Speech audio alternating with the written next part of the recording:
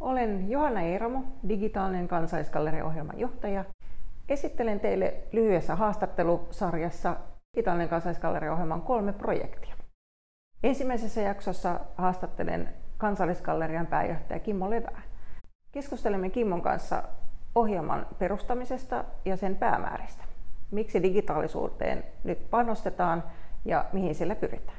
Toisessa jaksossa keskustelen digitaalisten palvelutuotteiden tuottajan Anna Laamasen kanssa ja pohdimme, minkälaisia virtuaalisia ja digitaalisia ilahduttavia taidetuotteita voidaan tehdä kansallisgallerian kokoelmateoksista ja niistä johdetuista metadatasta ja taidehistoriallisesta taustasta.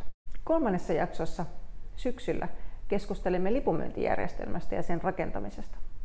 Kansallisgalleria ottaa nyt omaan haltuunsa ennakkolipun myynnin ja siihen liittyvät digitaaliset kokonaisuudet.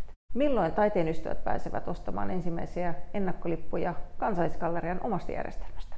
Siitä kuulemme elokuussa. Neljännessä jaksossa keskustelen Web3-projektin kollegoideni kanssa siitä, mitä lohkoketjuteknologia voi mahdollistaa taiteelle, taidemuseolle ja luoville aloille laajemminkin.